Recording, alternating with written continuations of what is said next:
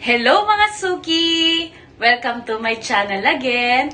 Don't forget to subscribe and click the bell button, like and share this video.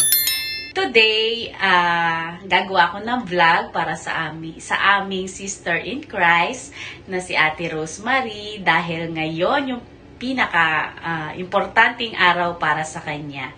Kasi 50th birthday niya ngayon. So, naisipan ko siyang ah, gawa ng vlog dahil syempre special tong araw na to para sa kanya. And love na love namin siya. So, mauna na akong bumati dahil sigurado marami babati sa kanya mamaya. See you later, ate! Happy, happy birthday!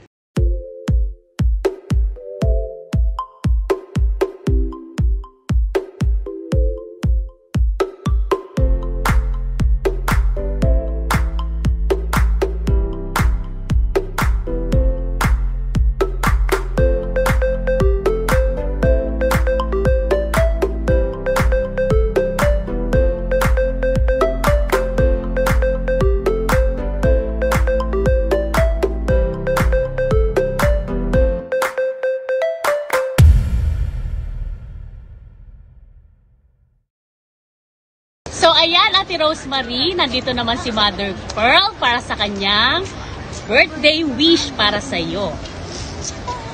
Mother dearest! Ito po, masasabi lang ni Sister Donna, ang ating masipag na vlogger. From your Mother Pearl, maligaya at pinagpalang 50 ka na po! Patuloy ka pong pagpalain ng ating Panginoon and my deepest prayer and desire that you continue knowing our God and to be used by God mightily, ang buhay mo po magamit mightily for His glory. Enjoy, enjoy! 50 ka na! Ito yung siga sa ano, siga ng Cavite. O, anong, ano mo? Birthday wish. Hi, Sis Rosemary. Happy birthday, sis. Stay safe. Mamaya na. Hindi! Hindi natin yan! It's okay! Take It's two. okay! O, take two daw! Hi, Sis Rose. Wow, golden girl ka na. But, it doesn't look at your age. Stay safe and healthy and God bless you more. Happy, happy, happy birthday. Happy Golden Girl! Uh, happy birthday sa'yo, Sis Rose. And hopefully, you will have another blasting every year. Happy birthday. God bless. Hi, Rose! Happy, happy 50th golden birthday to you. Thank you for being sweet, being ate to me. Salamat at pagpalain ka ng Panginoon sa 50th birthday mo. Um, I love you. Um, God bless you more. Happy 50th birthday po, Sister Rosemary. I think, ano po, sa... Oh, Unang-una po, thank you so much. I thank the Lord na um, sa, sa inyong buhay, you have been a great blessing to all of us. Hindi, hindi lamang po sa pag-service nyo in the church, but also yung fellowshipping with you is a great blessing for me. And I pray, uh, Sister Rosemary, that the Lord will continuously use you more and more in His kingdom. And I pray na darating po ang panahon ano, na makakasama niyo rin po dito din ah, sa Japan ng iyong family. Thank you, Lord. Thank you. Thank you po ulit. Thank you, thank you, thank you po sa inyong buhay. We thank the Lord for your wonderful life na pinapakita na po sa amin. We love you so much, Sister Rosemary. Happy, happy birthday po ulit. O, ayan, final practice na daw mga suki. Magkakaalaman tayo mamaya kung perfect nila. Okay.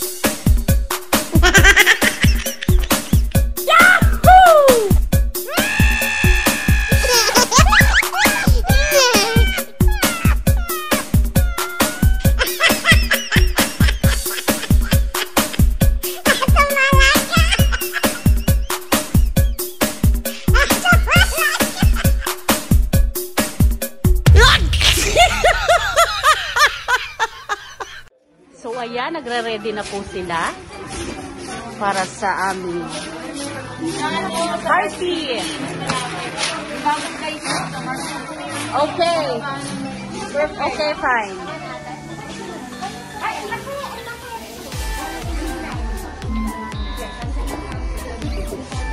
Kuya Josh, okay ka lang dyan? Kuya Josh, okay ka lang dyan? Okay ka ba dyan? Okay.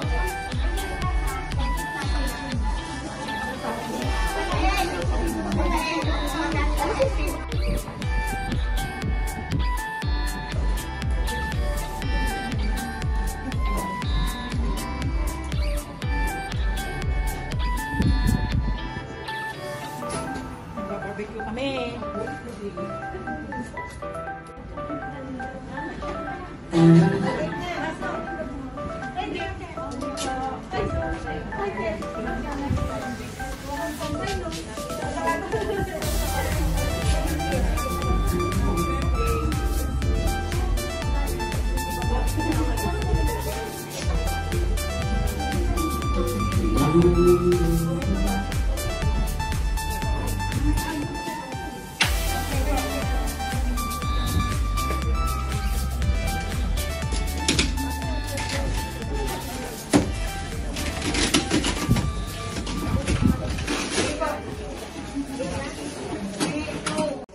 afternoon, uh, let us all stand up as we welcome our lovely, victorious celebrator of her 50th birthday.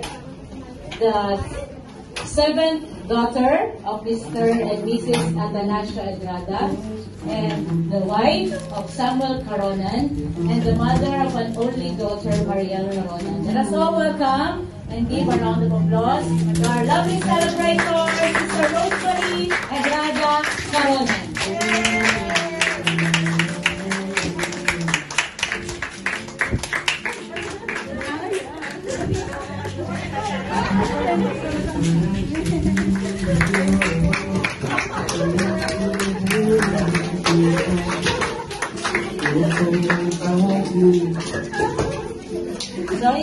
afternoon, we will join her in her uh, joyous celebration for this afternoon. And before that, let us invoke the very presence of our Almighty God to guide us in the celebration of this program. Thus, uh, for opening our program, let us have the prayer to be led by our head of JL Japan family and Okay, so let us uh, be led with the opening prayer from Sister Dayan Di Maruco.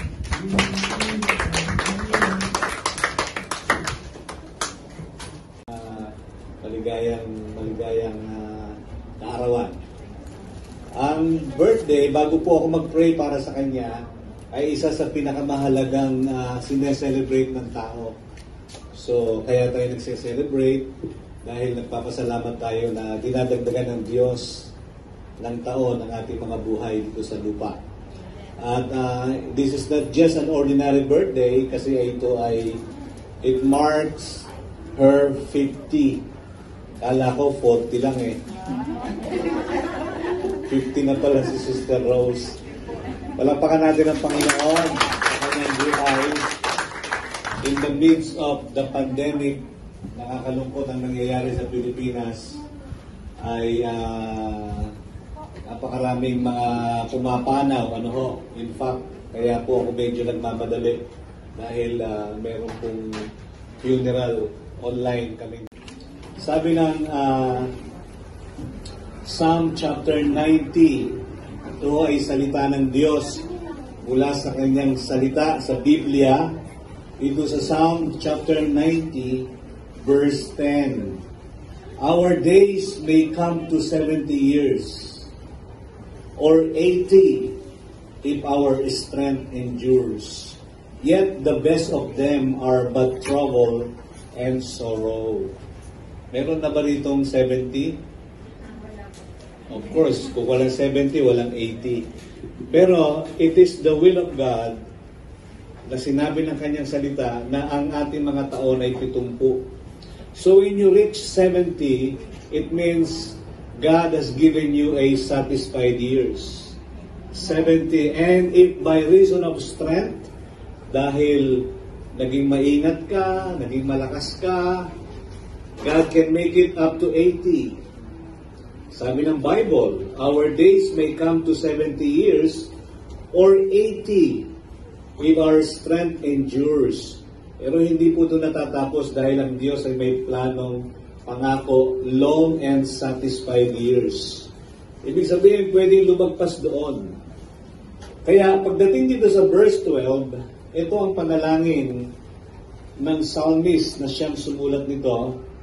Sabi niya, Teach us to number our days, that we may gain a heart of wisdom. Kapag ka pala tayo ay nadadagdagan ng taon, nagiging matalino tayo. Kaya ako sinabing dahil 50 ka na, matalino ka na. Dahil marami ng mga nagdaang mga panahon, marami kang natutunan, especially na nakilala mo ang Panginoong Yesus. Dahil ang pinakamasaklap mga kapatid, lahat tayo ay matatapos ang ating buhay sa mundo. Walang makakatakas po nun. Lahat tayo ay haharap pagdating ng araw na iyon. Pero ang pinakamalungkot, kung dumating yung panahong iyon, ay walang Kristo ang ating mga puso. Oh, saan nyo daw nakuha yan?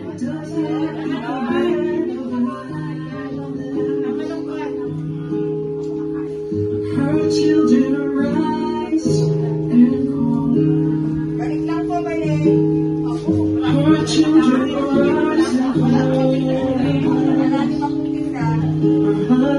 嗯。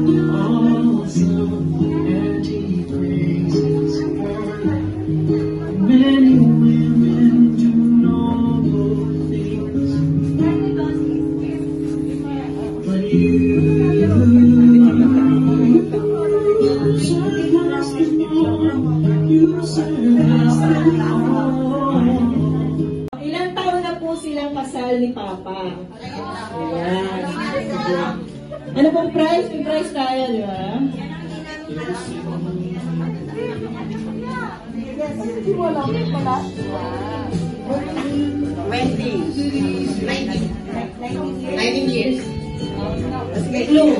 Ilang taon na po yan ako? 18, okay. Yan ay sagot. 20. Okay, hindi pa. 21.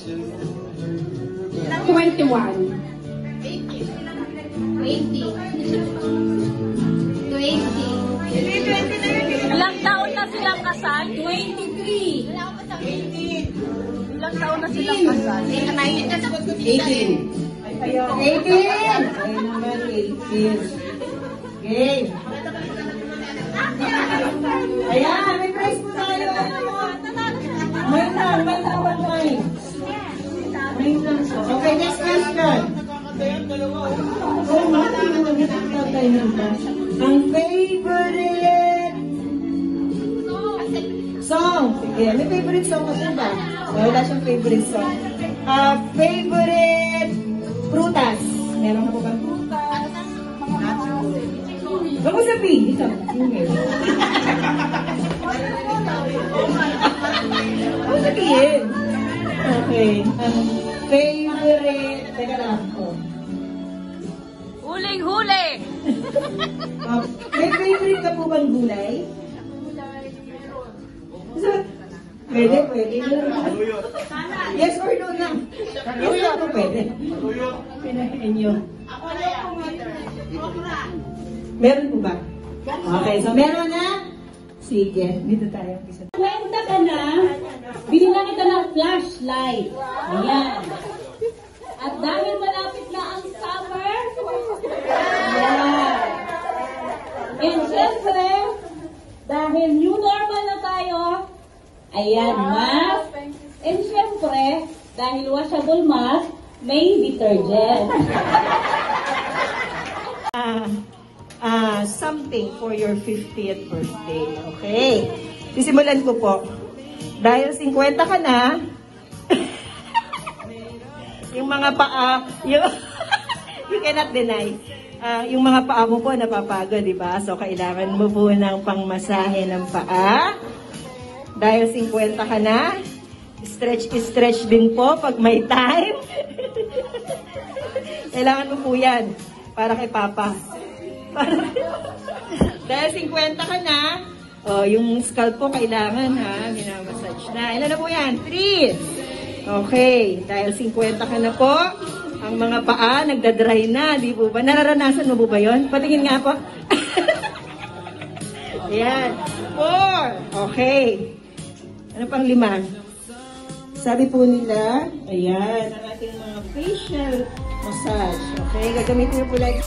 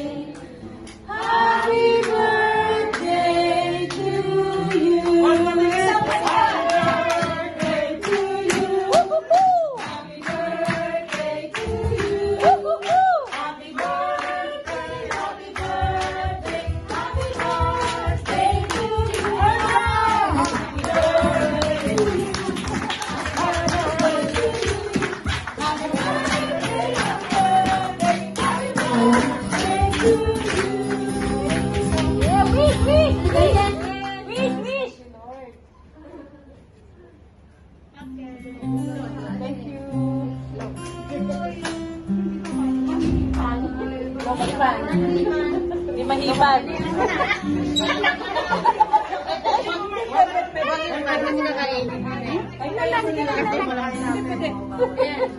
Thank you.